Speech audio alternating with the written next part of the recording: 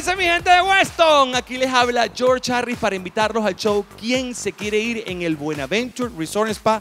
Ahí en Weston. Vamos a hablar de quién se quiere ir. Esa pregunta que nos hacemos antes de venir a nuestros países y cuando uno llega a la embajada y uno le dice, ¿y usted qué viene a hacer a los Estados Unidos? Y uno dice, no sé, I love you. Pues ahí vamos a hablar de todos esos temas y nos vamos a reencontrar con lo mejor de nuestro humor. Así que entra ya en compreboletos.com para que estés ahí y nos abracemos y nos queramos. I love you. Bajémonos del carro. En, agarremos monte para arriba. Cada quien agarra un sitio diferente. El que sobreviva nos encontramos en otro lugar.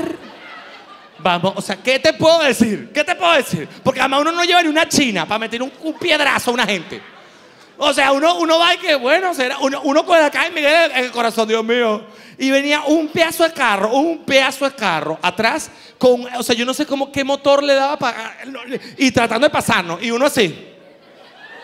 Pero además uno, uno, que uno es inútil, uno y que, ¿qué hacemos? ¿Qué hacemos? ¿Qué hacemos?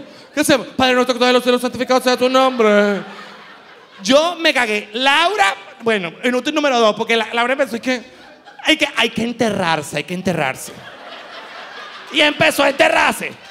Como que si eso te iba a, evadir el peo que te iban a presentar. Y Laura, y, que, y, mi- mamá también venía con nosotros. Y me, "Ay, entiérrate, Irene, entiérrense, entiérrense. Vamos a enterrarnos todos. Y empezar. Yo no me enterré, o sea, que a mí me iba a meter el coñazo. Porque yo no entendí cuál. Yo, ¿qué, qué hacen ustedes allá abajo? Yo, Harry, entiérrate. Entiérrate. Una, o sea, uno va cagado. Uno va cagado. Pero es normal. Entonces la gente te dice, así no se puede vivir. Además, uno llega al apartamento. No, no es que uno llega al edificio y cruzó la reja y ya. Libertad, libertad. No. Hasta que tú no estés dentro del baño de tu casa. Metido entre la regadera, sí. Creo que estoy vivo, déjame ver. O sea, porque uno entra al edificio, eh, ah, se abrió la reja, abrióse, abrióse la reja. Por supuesto, la gente que te trae te tiene que dar la vuelta para irse. Entonces tú tienes que esperar que esa, que esa reja se cierre. Entonces uno, dé la vuelta en un señor, rapidito. Y uno fuera así, y la reja abierta, y uno, rapidito que me meo, rapidito. Y entonces el señor da la vuelta en U, abre la reja. Uno cuando se abre la reja siente como que si se abriera el espacio exterior. En puede entrar cualquier piedra, cualquier peñona, cualquier cometa, cualquier vaina mala. Y entonces uno está así como, dele, bienvenido. Arranca para la reja, pero corre, pero como que si te están persiguiendo un tigre, una vaina así. Llegas a la reja, además, cuando uno va apurado, siempre, la- tú sabes esa reja que tiene una vaina que, que es como táctil, que, de- con, una llavecita. Y la vaina, y no funciona, y tú, se dañó la reja. Se dañó la reja. O sea, hasta que ¡pac! ah, Y cierra la reja y pide el ascensor. Y hasta que no llega el ascensor, uno pide el ascensor, pide el ascensor. pide- El ascensor no va a llegar antes porque tú le hundas el botón hasta aquí. No va a llegar antes. El ascensor se tarda lo que se tarda. Porque además, cuando después que uno vive aquí, que aquí los vainas, no sé, bueno, es otra cosa, otro ritmo. Los ascensores allá me parecían una eterno.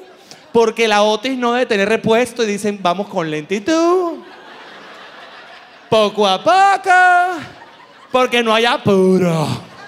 Mi mamá vive en el piso 13 y uno va, pero dice, ¿será que nos encerramos? Si se va, además empieza a pensar, ¿y si se va la luz? Con el ascensor, ¿quién te va a sacar de ahí? Nadie.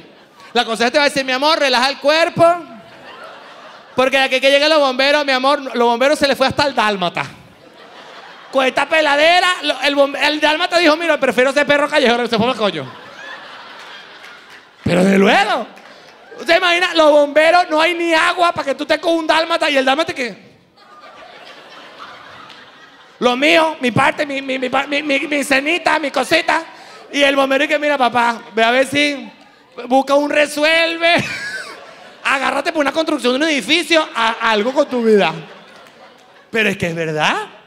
Entonces uno sube el ascensor. Cuando llegas al piso del, ap- del apartamento, tú no estás salvado porque tú no sabes si te está esperando una. Ah, Nada.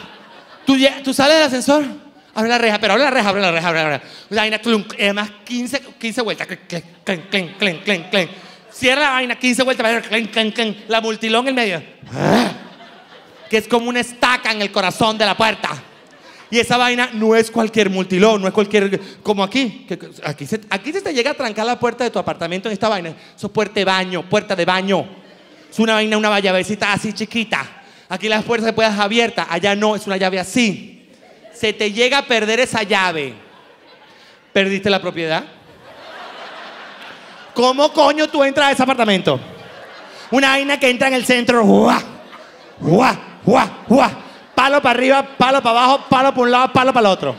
Esa vaina se pierde, se selló esa puerta. ¿Qué- ¿Por qué no fuimos más para tu apartamento de La Guaira? Ah, porque en el año 2003 perdimos la llave. Eso debe estar, no sé, lleno de cucarachas, ¿no? No se supo más ese apartamento. O sea, es verdad. Entonces, uno llega al apartamento, cierra esa... Y cuando uno se cierra esa vaina, uno como... Óyeme, ya la gente no rumbea tanto. O sea, que uno, venezolano, se rinde. Y la gente salía, no importara la delincuencia, na- nada. La gente, sal- ya no, ya no, la gente se recoge. Entonces, claro, es también muy fuerte ver un país tan rumbero como nosotros, que la calle a las 10 de la noche, eso es soledad absoluta, sea viernes, sábado, lo que sea. En las calles es abso- absolutamente, y además una oscuridad, porque no hay luz, no hay luz en las calles, los vainas bombillos tan malos. Entonces, coño, uno, claro, llega de aquí, porque que- no es que yo no estoy comparando nada, pero si uno llega aquí, que esto es una luz, una gastadera de luz constante. En este país no, yo no sé quién coño paga la luz. ¿O será que la pagamos entre todos y nos tienen clavado con los impuestos? Porque aquí no joda, no hay lugar donde pongan un bombillo, una vaina, un reflector. Yo no sé para qué, porque aquí nadie te va a atracar de ladilla, que no sé si le da ladilla o si le da flojera. Aquí nadie te va a atracar. Primero, ¿cómo te van a atracar en este país esta vaina está cundida de cámaras? Aquí uno no se puede echar un jamón detrás de una puerta porque te pillan. Por eso es que a todos los artistas las tienen cuando pelan el culo, cuando tienen la teta, cuando se rasca, cuando se... toda todo el mundo está grabado. Aquí hay cámaras por todos lados. Uno, se mete, hay una cámara. Uno se mete en un ascensor y te están grabando y el vigilante ¿qué? Ay, mira, se está rascando las bolas. De este que le pican. O sea, todo el mundo te está viendo. Entonces, claro, la vaina es completamente diferente. Uno se acostumbra a que hay luz en todos lados. Allá la vaina está muy oscura. Solamente están iluminando ahorita los reflectores de los edificios. Si los edificios no tuvieran reflectores, papá, aquello fuera vela. Todo el mundo con una vela en la mano para a abrir una puerta. Entonces, aparte de eso, claro, la, la, la, o sea, el, ¿cómo se llama? La persecución, la vaina persecutoria que tienen todos, que ya uno la empieza a perder aquí. Porque aquí uno anda huevoneado. Es verdad. Aquí uno, por eso es que uno engorda. Por eso es que aquí uno está, porque uno está anda en el cu- con, el, culo, tranquilo, caminando poco a poco. En el pueblo de uno no se puede. Tú ves que la gente anda como apuradita, como que tiene alergia, como que le pica una vaina, como que le, o sea, porque andan van a un supermercado y están, ajá, ajá, ajá, rapidito, rapidito, rapidito. Una vaina que están pero, pero taconeando por todo aquello. O sea, porque la gente va pu- pi- pila. La- y la gente está ventilador. Vamos, ajá, ajá, ajá, muévete, muévete, dale, dale. Dale, apuradito, rapidito, ok, uno, dos, tres, uno, vete la llave. No. Ah, y eso de que te voy a dejar en tu casa. Vamos a dar dos vueltas. Para ver si hay alguien en el... O sea, para ver si te está esperando alguien. Vamos a dar una vuelta, ahí veo una persona sospechosa. Y a lo mejor es tu misma familia. Yo, una, una persona sospechosa. Da una vuelta, un tío tuyo borracho en una esquina. La vaina está difícil. Entonces, coño, eh, obviamente a uno le da un sentimiento con la gente que está allá. Porque además te dice, coño, Harry, nos abandonaron. Y uno se siente como, de verdad, uno... No, no, no, no, no. Uno quiere tener visa o uno para repartir. Uno quiere tener una, una, una- oficina de inmigración para que vengan todos. Pero bueno, es lo que es, o sea, yo no sé, no sé por qué nos ha pasado, nos ha pasado. Yo lo único que puedo decir y que la gente le puede constar, yo, yo sí voy a ir a votar el 6 de diciembre, por lo menos para colaborar. Yo sí, yo sí.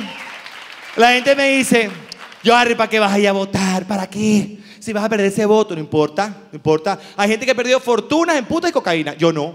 Yo, ¿Cómo perdiste tu plata? Votando. Claro, que la gente por lo menos me diga, yo voté.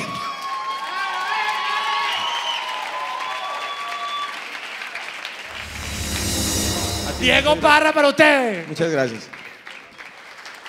A ver, sí, yo soy de Colombia, como, como les, habían les dijo George. eh, en Colombia nos dicen que Colombia es el país más feliz del mundo, básicamente porque no conocemos otros países. Eh, eh, ¿Qué más les cuento? Soy colombiano de Colombia, porque casi siempre dicen, ah, colombiano de mierda, pero no, yo soy colombiano de Colombia.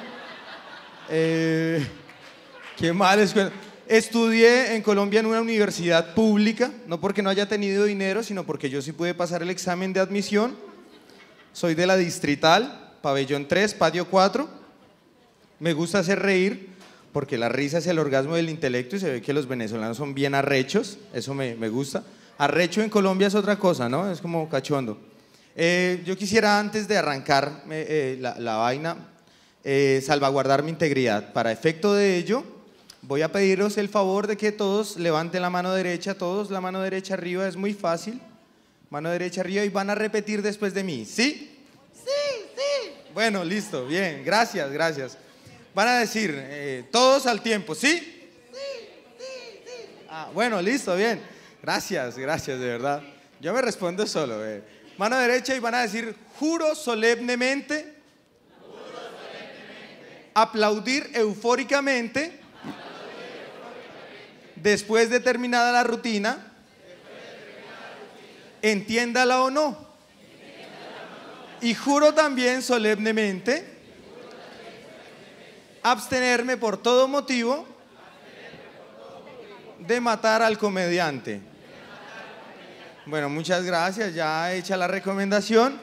Eh, uy, gracias, qué rico que a uno lo aplaudan por no hacer nada. Ahora entiendo a tantos dirigentes de tantos países. Bien, eh, a ver, ¿qué, les cuento? Yo pues vengo de Colombia, en, Colombia como pues eh, se sabe, en Colombia pues pasan muchas cosas extrañas, ¿no? Colombia es el país del Sagrado Corazón, allá todo es posible pero nada es seguro, ¿no? es súper extraño. En, Colombia, por ejemplo, la antigüedad de los policías en Colombia se ve en la barriga. Ya entre más gordos es porque llevan más tiempo, ¿no? Porque los policías en Colombia, en Colombia, hacen un curso que es el curso de inteligencia, porque carecen de...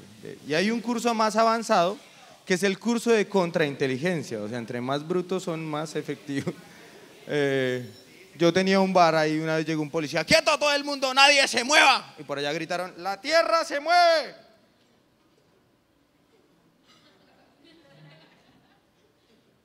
Ah, sí.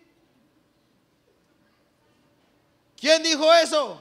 Por allá, Galileo Galilei. Ah.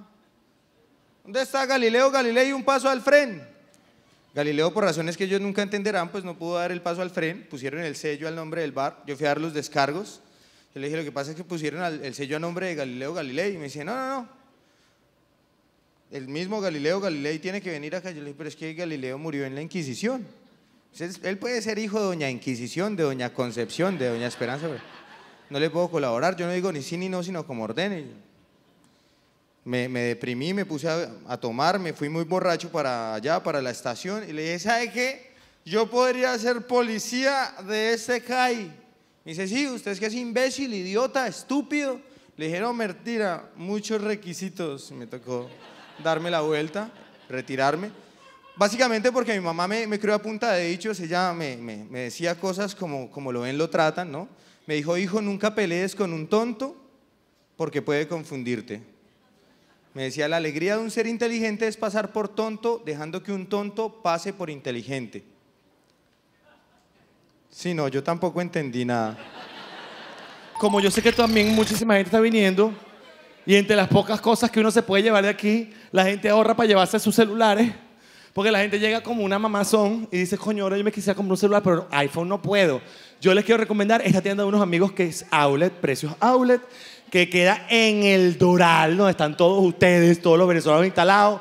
La gente del Doral va a disfrutar ahora de la tienda Sumicel Outlet, que queda dentro de Don Pan, ahí en la 41 con la 107 del Doral. Esta tienda que tiene precios Outlet. La gente dice, ¿cómo que precios Outlet, chicos? Ni que eso fuera ropa. Sí, hay precios Outlet en la telefonía celular. Tú llegas y encuentras todas las marcas Huawei, encuentras marcas Blue, iPhone, todas las marcas y los accesorios a precios sumamente económicos, así que tienen que ver, son los precios más competitivos del mercado, mejor que en el Dolphin, mejor que en los centros comerciales, mejor que en las tiendas de la 72, todo, mejor que todo. Pasen primero por su Sumicel Aule ahí dentro de Don Pan. Es una tiendita chiquitica, pero tiene enormes descuentos, así que síganlos ya o entren en su página web sumicel.com.